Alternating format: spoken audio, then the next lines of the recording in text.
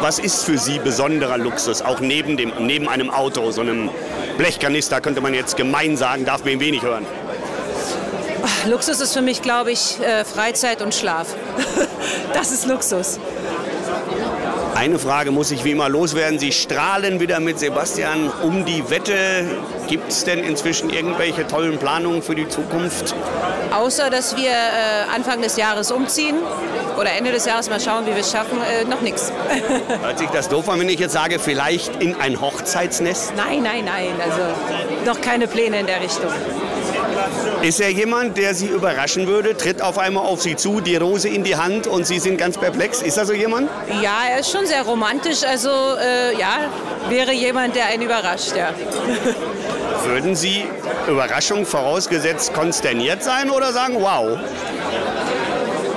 Ich mag Überraschung. Ich bin dann auch überrascht. Jetzt muss ich mal rein. Dankeschön.